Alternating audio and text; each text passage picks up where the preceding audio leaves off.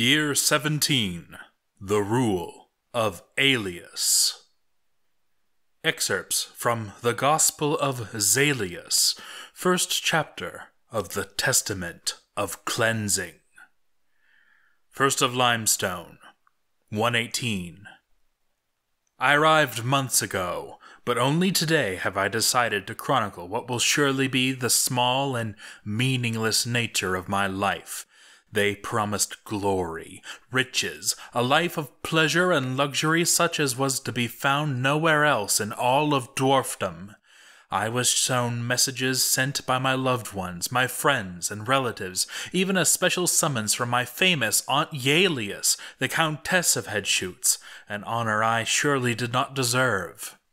I survived the endless trek across barren wastes, survived attacks by giant eagles and feral sheep, and when we arrived, where were the sparkling gates of diamond? Where were the welcoming roads paved in purest adamantine? No, a blasted hellhole, foul miasmas rising across the uncaring rocks, and the skulls of the dead littering everything was what greeted us. Indeed, some of the skulls were more lively than the inhabitants of this thrice cursed pit. But I persevered. All I wanted was to do my job and earn a little pay and have a dwelling to call my own. One day I would raise a family. I never wanted to stand out, no. Other members of my family had tried that, and look at what it had gotten them. But I'm no miner, never was, never will be, and when I showed up, they asked me what I could do. Miller, I said. I'm a miller. Eh, Mainery, crowed the disgusting half-wit who was apparently in charge. Here's your pick then, sweetie. I almost stove his wretched head in, but fear of the monster, holistic detective, stayed my hand. What a creature! All dwarves should aspire to such strength, such prowess, such power.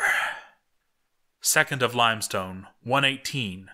Horror! Oh, most foul fate! Why such cruelty to one who seeks guidance and a place to belong? The overseer, Kennel, declared his life work completed, by me and mine no less. How is it his accomplishment? And so retired to spend his days gutting fish and chasing noble tail. I was dragged before Count Caterani's sword and ordered at Hammerface to take over where he left off. Apparently, my aunt had left instructions that I was to be appointed overseer in her absence. She's even supposed to have left detailed instructions for the running of Headshoots. I want nothing to do with the management of this hellhole. The fortress is a rat's nest of tunnels, failed delusions of grandeur, and hasty attempts to appease previous rulers. How can I hope to understand such a place? Who could ever know how to run it? I hope that her instructions can help. I don't know what to do. I've never been under so much stress. At least I got to see Holistic Detective again. She's truly a god above dwarves. Fourth of Limestone, 118. After much searching, I found a document that mentions the name of my august aunt, Countess Yalius. Although it has not been written by her, it appears to bear her signature of approval, which is oddly coarse and poorly drawn. I would have thought her runesmithy more refined. The actual plan was drawn up, presumably on her orders, by one You're Getting Fatter, a previous overseer. While I do not fully understand the wisdom of this plan, I will do my best to follow her wise decision. Apparently, the fortress is suffering from an unfair distribution of basic resources. It seems that the sage Yalius was surprisingly enlightened. The plan calls for the repurposing of all throne rooms and the equal distribution of chores. It's refreshing to see a noble call for class equality, and I'm sure that, with Headshoots' position as capital of our civilization, my, or rather, Yalius's, brilliant step forward for equality will begin a sweeping transformation for all of dwarfdom. After removing all property from the hands of noble and bored Joeezy, whatever that is, alike, I've settled down to consider how best to proceed. I only hope that Holistic Detective will not haunt my dreams again. I'm on the verge of madness already. With the responsibility of directing the seat of all dwarves the world over on my small, untested shoulders, all I ever wanted was to belong, to be part of something greater. Let's let's hope that I can withstand the fulfillment of my wish.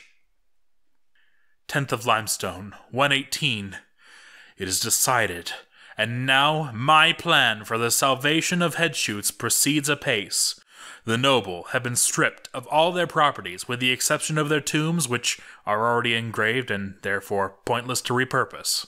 A great accounting must be held. All of the possessions demanded by these leeches over the years must be found, melted, reused. For the great plan, the one and only plan, must continue. I must not let my ancestors down. The memory of Queen Sancus must not be allowed to die, and we must all strive to become perfect dwarves, great and strong and industrious. To this end, I have ordered all previous artifacts melted to their base materials, that they be made as needed. Dwarf society will no longer be held hostage by the strictures of the past. Naturally, the nobles are unhappy about this, expressing their anger in mandates and price changes. But I have at least one ally. Holistic Detective looks well upon this work. I can tell, you see. Oh, oh, certainly she has not deigned to notice me, but I can feel her approval all the same. I will follow the plan as it was given me. I will not let her down. 20th of Limestone, 118. A revelation came to me in my sleep. My purpose in life is now clear. The moment of truth is not yet upon me, but soon, soon, soon all shall know me for who I am, and all shall recognize their place in the world. Aelius never saw the truth. Her schemes, while useful for my new-found purpose, were short-sighted and strangely self-destructive. I, on the other hand, will bring truth and light to dwarf kind, not just some economic equality. None will be able to resist the changes that are to come.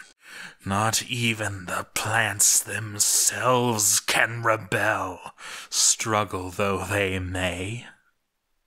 First of Sandstone, 118. The elven merchants arrived today. They have no part to play in the times that are to come. I sent our broker with instructions to seize some of their goods and send them on their way.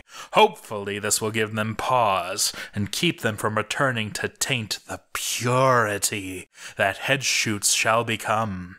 Their nonsense about trees is given no heed. Cannot they see that only one is worthy of their worship, and they stand before them? Fifteenth of Sandstone, 118. I found today the drawings for Headshoot's mighty defense, a great engine of terror which has claimed the lives of many, although such sentimentality is inappropriate for the new dwarves we shall become.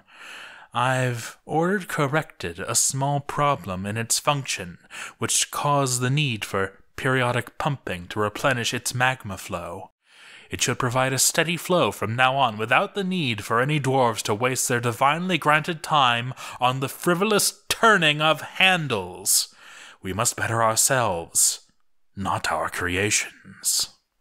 Some migrants have decided to brave this terrifying place, knowing it may be their tomb.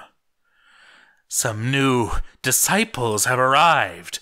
A few appear distantly related to dwarves who once lived within these walls. The rest are unfamiliar to me, but they will be brought to see the dark, and they will understand.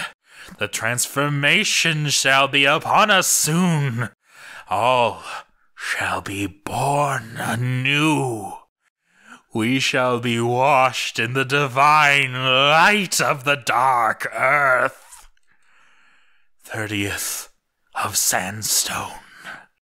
At last, the time is upon us. I am revealed to all dwarf kind, for I am Zalius, the one true prophet of our God, holistic detective.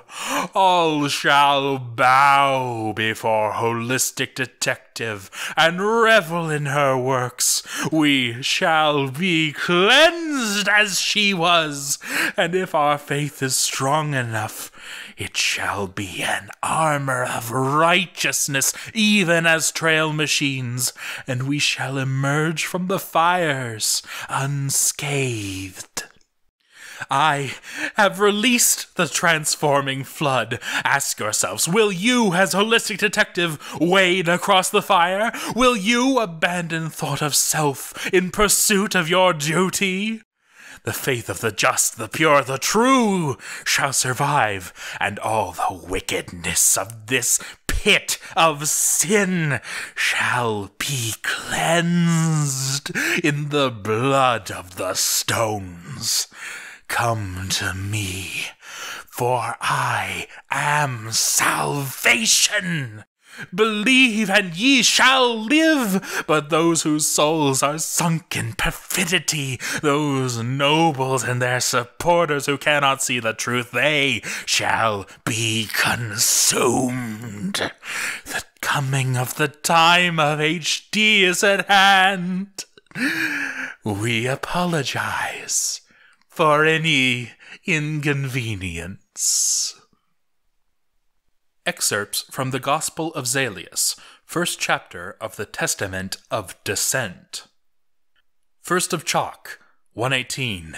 And yea, with the coming of the cleansing fire, the dwarves of the fortress of Headshoots fled in terror, for their sin was great and deep, and they knew not the truth.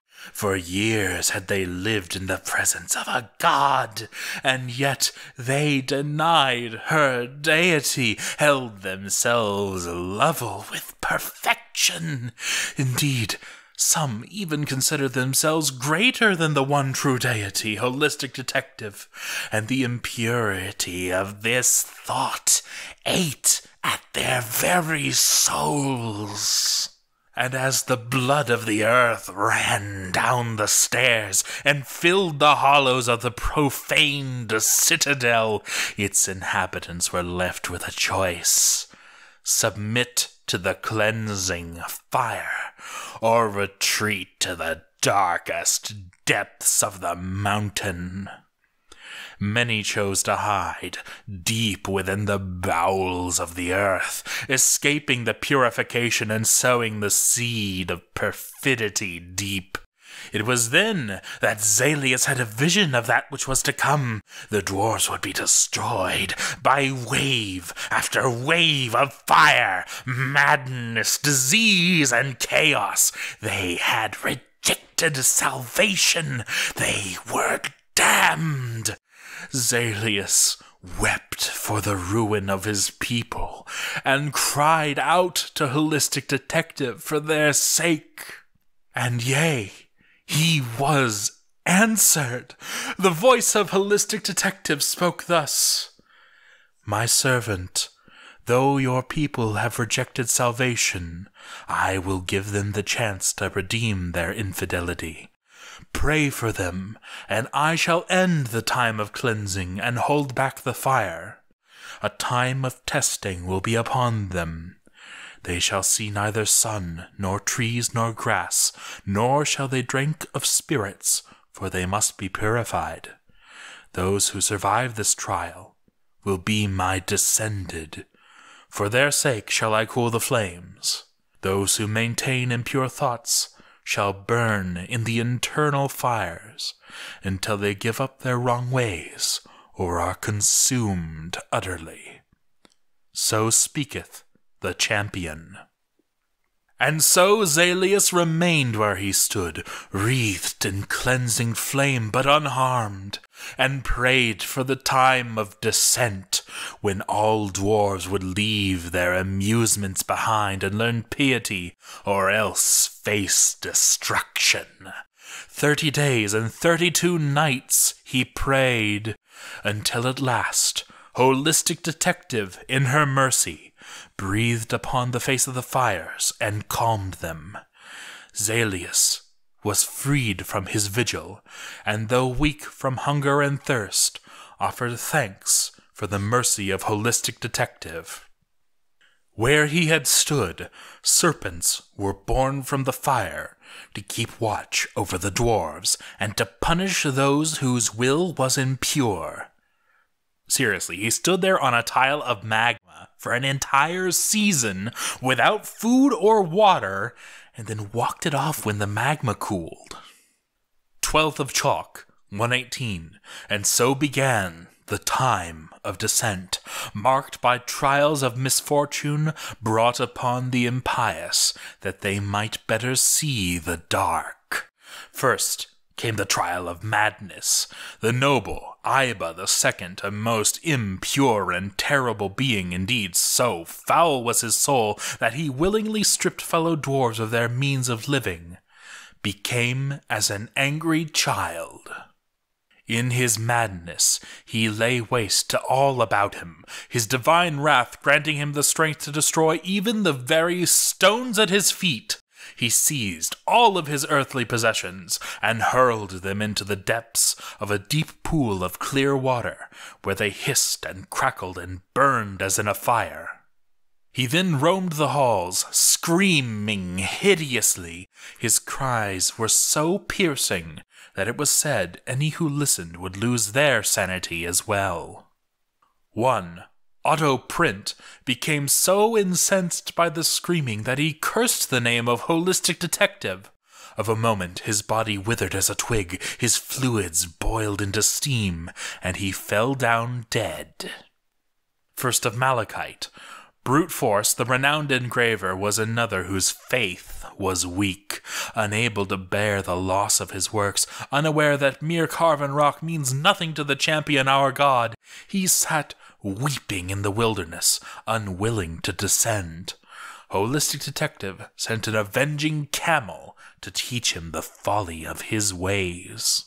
The camel, its eyes glowing with the fires of purity, tore brute force limb from limb, scattering his pieces to the four stones. Such is the fate of all who place material goods before the majesty of the champion. 22nd of Malachite. Verily, those who had thought themselves noble were truly unable to accept the reality that all dwarves are as dust before holistic detective, and until descended, none have earned the right to own any piece of this world. Otsp, the Countess Consort, began throwing a tantrum, in her desire to grasp the object she had once possessed, her divinely enhanced strength caused her to crush to dust several doors, a wall, and a number of valuable tables and chairs. This so enraged her husband, the Count, that he too took leave of his wits. 30th of Malachite, 118. Thus ends the first chapter of the Testament of Descent. Holistic Detective, in her mercy, spared the impure from molten destruction on the condition that they submit and be tested. Those found unworthy would surely be destroyed. Such was the grace of the champion, however, that she spared her prophet Zalius, though he fasted and lay full upon the face of the fires. His faith had preserved them from the fire of the physical world. But now they would have to survive the burning fires of their own sins. Those whose souls were not consumed might rise as the descended and lead a new race of dwarves to glory. Out of character, Alius posted, It's now autumn, and by the champion this place is hard to destroy. For those who are confused, I didn't open Tribute, I just channeled a magma pool into the fortress's main level. At least some nobles are going insane. Added to the roster of dwarves this chapter, Flymolo, Oni Elem, Viki, Flocks of Mice. Full list of surviving dwarves coming at the end of my turn. Iba posted, Now, one thing I'm kind of curious about is why there weren't any fires or burning to death when you flooded the fortress with magma. I have to ask, did you turn temperature off? As far as I know, if you did, then once it gets turned on again, any dwarf that had been exposed to magma will spontaneously burst into flame. I guess the righteous cleansing fires of Holistic Detective to the superstitious lower class lot. If that's the case, we've got some Fist of the North Star style delayed fortress annihilation here. We're already dead. Alius posted, That is incredibly badass. You're right. Temperature appears to be off, and I didn't notice. If this works, it'll be the most awesome ending ever. Thanks. Excerpts from the Gospel of Raelius, the Book of Heresy collected from the writings of Raelius, Grand Caliph of the Champion and son in law of Zalius the Prophet. Second of Timber, 118. For though the dwarves of Headshoots had been shown the way, though they had been showered with infinite wealth, grace, the mercy of the Almighty Champion, despite the words of their prophets and the desires of their God, some chose to reject salvation these incurable infidels did come forth and spake thusly We defy you, holistic detective, and your prophet. We will destroy your works, and we will drink of spirits. We will see the sun. We shall ascend and fight you for eternity. And holistic detective was saddened. In her divine wrath, the champion did strike the heretics with plagues of fury. Some burst into flame and ran forth with smoke and ashes at their heels until they were consumed. But those who had not blasphemed were spared and were permitted to live on. Such was the mercy of the champion. They watched their condemned brethren run like flaming meteors in the depths, and some were troubled. Excerpts from the Gospel of Raelius, the Book of Betrayal. 16th of Timber, 118. And on that terrible day were the hearts of those heretics who had held their tongues filled with courage, and they determined to end the reign of the champion. For, they said, only in the prophet have these deeds been done.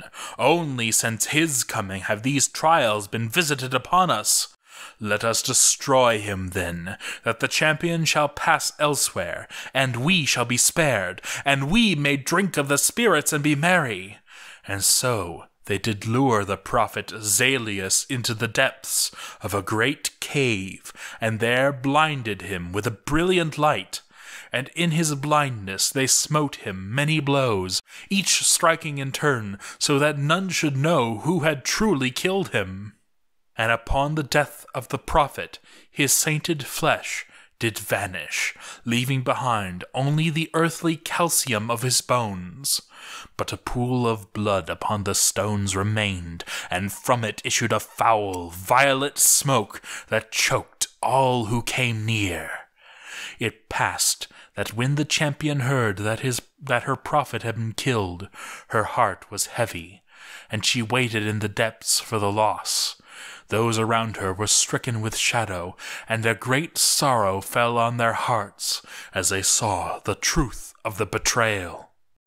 And they wandered the halls with heavy tread, weeping tears that turned to stone where they fell, and some of them dashed themselves against the walls, or flung themselves into deep pits, so sad were they to witness the pain that this loss had caused their god. But the worst the most evil, stone hearted dwarfs, those whose hands had done the deed. No cleansing fire did they merit, nor were they granted the dignity of a quick death. Their bodies were destroyed, rotted from within. Pustules formed on their skins, their beards fell from their faces as snow, and their eyes and mouths did leak blood upon the pavement. In agony did they perish, writhing as they felt the oncoming fires of eternal torment, until their blood was spent and they lay withered and cold, and their corpses were thrown by those who lived into a corner, and no burial nor sanctified rites were they given. And any who protested had at once the water leave their bodies in great clouds of steam, and they did fall where they stood as dust. The known troublemaker, Count Cadenari's sword, became belligerent and foul. Too scared to risk the wrath of the champion and her attendants, he vented his wrath upon the beasts of the fortress, beating donkeys with his fists and chasing cats into the well. The children of the fortress learned from his example, becoming monstrous and violent. Their rage was mercurial in expression, but no one was safe from their presence.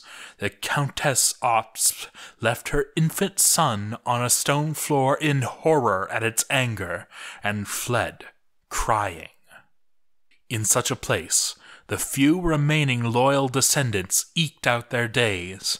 In commemoration of the death of the prophet, that his sacrifice might never be forgotten, they etched upon the stones of headshoots a list of deaths of those who had blasphemed.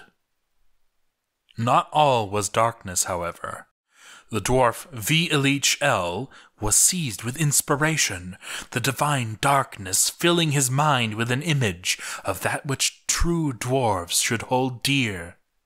After many days of toil, he emerged with a token of the finest craftsdwarfsmanship, bearing an image of the finest traditions of dwarfdom, and the champion was pleased, declaring Vialish El to be a legendary carver of bone, and declared that so pleasing were his works that no other task should he have for all of his days.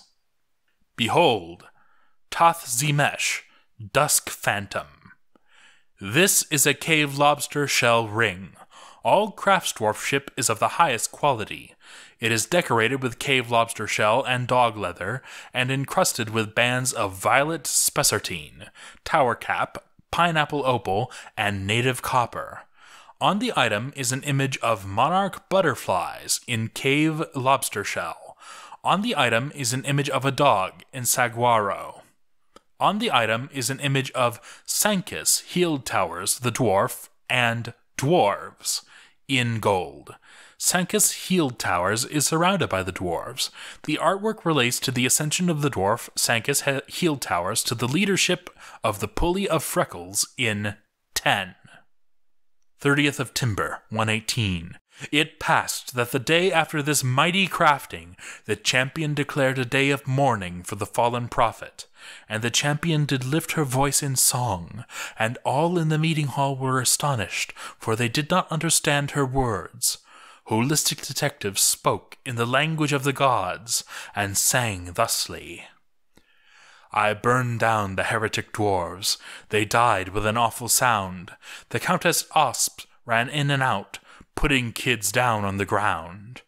When it all is over, I shall have cleansed this godless race, for the infidel time is running out, and I shall bring upon this place smoke on the water and fire in the sky.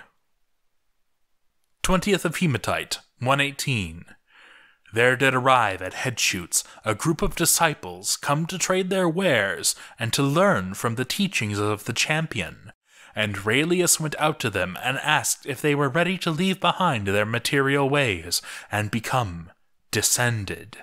But they were not willing to submit to the rites of cleansing, and so Raelius in his anger raised his arms in the air and called out to the champion. Around the merchant disciples a wall of sheer rock sprung up, bursting forth from the earth. The wall had only one gate, and the gate was filled with cleansing fire. And Raelius bade the disciples walk through the fire, that they should be cleansed and free to descend. But the disciples were afraid, and ran in circles within the wall, and so they remained for many days, until both they and all their livestock were so full of fear that they too doubted the deity of a holistic detective, and of a sudden they were all stricken with a divine madness, some frothing with rage and tearing at each other, and others staring sadly at the fire unable to move. Excerpts from the Parables of Raelius, the Second Prophet. Seventh of Moonstone, 118. And Holistic Detective did issue a proclamation that those who had sinned against her faith could be forgiven now, for most had done their best to descend, although it was whispered that this was purely from terror at the fate of those who had resisted. As a symbol of their pious regret, they were to face the challenge of courage. Each was assigned a lever of unknown function and ordered to pull it. Then, should they survive whatever strange results this produce, they would be declared free to descend. And yea, even the nobles, foul offenders that they were, humbled themselves before the levers of courage and pulled. And although many strange rumblings were heard from afar, none were struck down, and they rejoiced in their salvation. Because I guess those levers either connect to nothing or do something so obscure we'll never figure it out. First of Obsidian, 118. When one of the few remaining who had not tried to descend finally committed his inevitable blasphemy against the name of the champion, and at once Toxic Frog, for his sins, went insane, but so black was his heart that his madness turned to rage, and he began to froth and strike out at those around him. He seized the good and pious mortal sword, and before any aid could come began to beat him about the chest. When poor mortal sword called for aid, Toxic Frog's wrath waxed full, and in his divine madness he ripped mortal sword's arm from its socket and broke it in two. Toxic Frog, not content to merely injure his former friend's limb, beat Mortal Sword about the head with his own arm until his head was gravely injured and the blood flowed freely. The champion, upon hearing of this, considered striking down the errant madman herself, but determined that such honor was not to be his. Instead, she sent Nemo, her strongest servant, to chastise Toxic Frog with his sword of justice. Upon Nemo's arrival, Toxic Frog the Mad charged with screams of demonic fury, but the under champion, Nemo's strength and skill were not to be matched. Seizing Toxic Frog by the neck, the under champion Nemo hurled him through the air. With supernatural speed, Nemo raced forward and overtook the flying miscreant, striking him with his mighty sword, such that Toxic Frog was cleaved in twain. And such was Nemo's anger at this heretic that Toxic Frog's corpse was dragged to the lowest part of Headshoots and flung into the pit with the demons, never to be recovered. Now the wounded mortal sword had partially descended before this happened, and such was the strength granted the descended that he survived this grievous injury, though he had to be taken to the bed to recover. There he lay for many nights until he was still alive the last I checked. 20th of Obsidian, 118. As reward for their penance, these dwarves were given that which they most greatly desired. Mark Scorm, who had longed for the skill and strength of a master craftsdwarf, was filled with divine inspiration and began constructing an artifact of undoubtedly great beauty. Meanwhile, in recognition of their spiritual rebirth, the nobles, Otsp and Katarani Sword, were granted a child of their union by the champion. So strong and noble was the boy that both descendant nobles felt their hearts uplifted. The shadow of their heresy left them, and they forgot, for a time, their reduced standing. And the boy was named by none other than the champion's prophet, Raelius, who spoke over him thus This boy's destiny is great, but whether he shall achieve it is in the hands of others. His name shall be Nippy the Fish, that he might one day be as powerful and cunning as the dreaded carp. And now the blasted nobles are ecstatic again. All my work for nothing. 31st of Obsidian, 118. And so ends the tattered, blood soaked remains of the Gospel of Zalius and Raelius. What became of these prophets is uncertain. Perhaps later writings will speak of them, but their work shall live on amongst dwarfkind forever. In the name of the champion, may endarkenment come upon you. Out of character, Alius posted, Spring is upon us and my turn is up. Short of lava flooding the whole damn place again, I can't seem to destroy Headshoots. The military is indestructible, the fortress is overflowing with food and drink, and the place is such a maze that it's almost impossible to trap anyone anywhere. The following is the list of the survivors.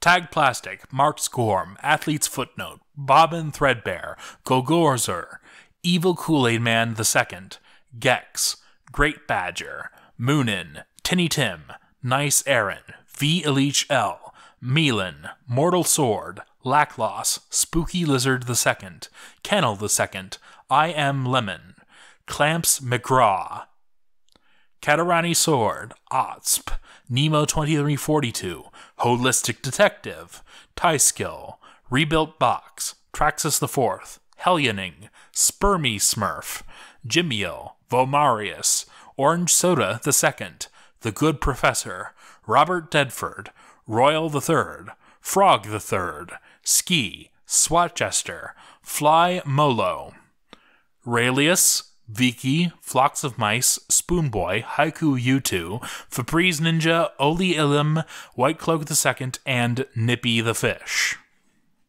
Sorry I couldn't get Holistic Detective to go berserk. She seems to be in a constant state of ecstasy, regardless of what's going on around here. Best of luck to the next Overseer.